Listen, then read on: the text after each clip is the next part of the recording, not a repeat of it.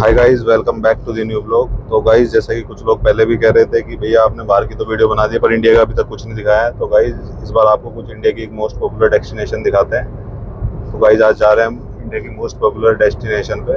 तो अभी उसका नाम नहीं बताएँगे, उसके लिए आपको पूरी वीडियो देखनी पड़ेगी।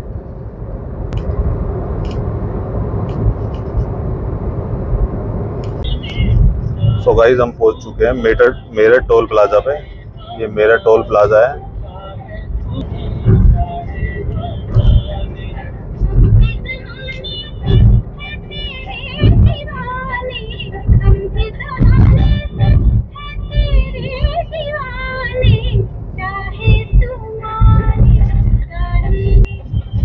गाइस टोल कटा लेते हैं टोल कटा के फिर मिलते हैं आपको आगे की वीडियो आगे दिखाते हैं।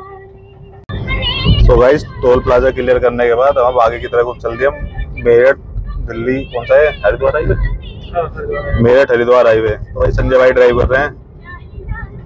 हेलो गाइस आज ज़्यादा कुछ बोल नहीं पाएँगे क्योंकि अगर ये ज़्यादा बोले तो फिर हम सब कुछ नहीं बोल पाएँगे। इसलिए आज इन्हें ड्राइव करने देते हैं और आगे की वीडियो आज हम दोनों ही दिखाएँगे मैं और रोहित जी।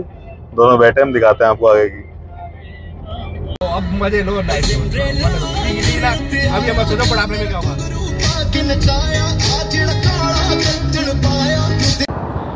तो गाइस अभी ना हम रुड़की से निकल गए हैं, अभी हरिद्वार जा रहे हैं। अभी आधे घंटे में हरिद्वार पहुँच जाएँगे। हरिद्वार पहुँच के फिर आपको सारी हरिद्वार की वीडियो दिखाते हैं। हरिद्वार से ऋषिकेश जाएँगे, फिर ऋषिकेश से देखने की टेरी भी जा सकते हैं। बाकी देखते जैसा भी है, आपको सारा दिखाएँगे। तो भाई, ये पहला इंडियन टूर है। देखो भाई, ये अपनी बीच में रुके हुए हैं। ये सारा ही इंडियन अपना इंडियन कल्चर इंडियन खेती भाई, जिससे बगैर इंडिया नंबर वन है भाई।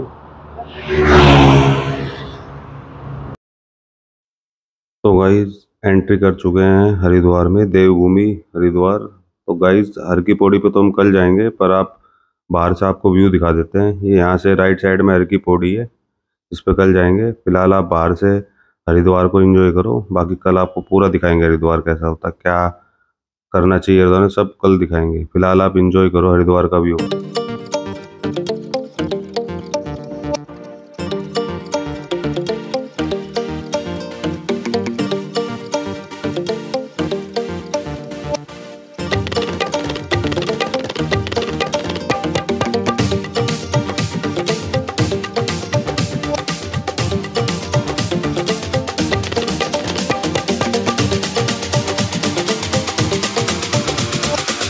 तो गाइस पहुँच चुके हैं हर की पौड़ी पे। तो यहाँ पे एक शिव जी भगवान जी की प्रतिभा लगी हुई है। साथ में यहाँ पे गंगा जी में आप स्नान भी कर सकते हो। ये शिव जी की प्रतिभा है जो हम आपको दिखाएँगे। बहुत बड़े शिव जी बने हुए यहाँ पे। इनके सामने आप फ़ोटो भी खिंचवा सकते हैं।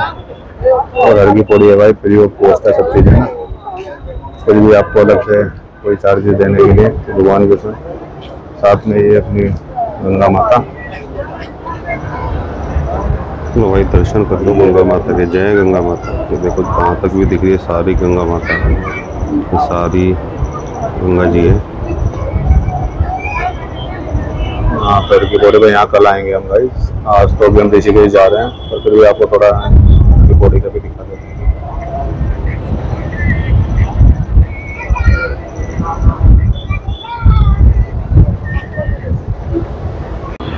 तो भाई जा रहे हैं ऋषिकेश की तरफ़ तो we are moving toward Rishikesh.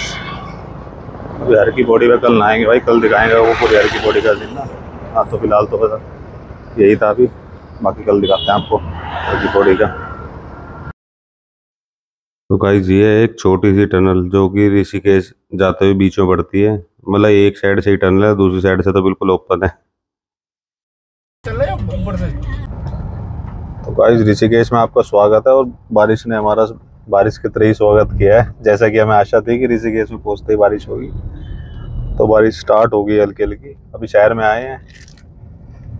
अभी जा रहे हैं, होटल लेंगे। होटल लेके फिर शाम को आपको लक्ष्मण झूला वगैरह दिखाएँगे। अभी आप व्यू देखो पीछे ना, एक आ रहा है देखो। सामने ना बादल हैं और पहाड़ के ऊपर जो दिख रहे हैं। बहुत अच्छा व्यू आ रहा है। लो आप भी फील करो ऋषिकेश की इम्प्रेशन को, ऋषिकेश को फील करो, आप भी पीछे देखो कि पहाड़ों पर किस तरह से जो आपका ये बादल हैं ऐसे लग रहा है कि जैसे फोग हो बिल्कुल ना फोग पहाड़ों पे चिपक गया हो। बहुत ज़बरदस्त व्यू आ रहा है। आप लोग ट्राई करना, कभी मेरा तो फ़र्स्ट टाइम है ऋषिकेश में तो मुझे तो देखने में ही अल्टीमेट लग रहा है। और ऐसा लग रहा है कि मैं इसे देख के विदेश भूल जाता हूँ। ताकि मुझे विदेश बहुत अच्छा लगता था, पर मैं विदेश, ये चीज़ देख के विदेश भूल गया हूँ भाई।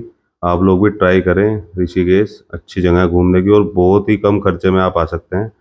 हम दिल्ली से ऋषिकेश बाई कार आए हैं, तीन लोग हैं और हमारे करीबन मुश्किल से डेढ़ हज़ार रुपये के आसपास लगे हैं पर पर पर्सन के। तो गाइज़ आप लोग बड़े प्यार से आ सकते हो। अगर आप चीपेस्ट तरीके से आना चाहें तो आप रेलवे में आ सकते हैं रेल में आ सकते हैं, जिससे आप करीबन सत्तर से अस्सी रुपये में आप ऋषिकेश पहुँच जाएँगे।